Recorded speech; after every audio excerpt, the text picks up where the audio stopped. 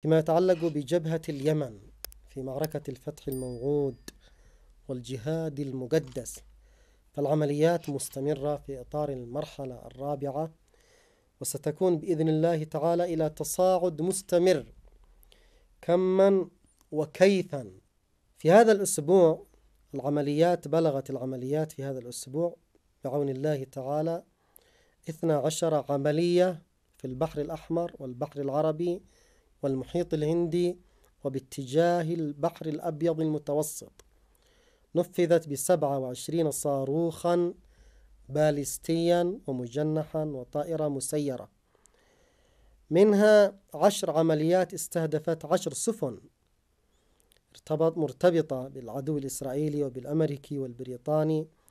والسفن تابعة لشركات كسرت قرار حظر الدخول إلى موانئ فلسطين المحتلة. وهناك أيضا منها عملية إسقاط طائرة استطلاع مسلح أمريكي نوع إم كيو 9 في أجواء محافظة مأرب.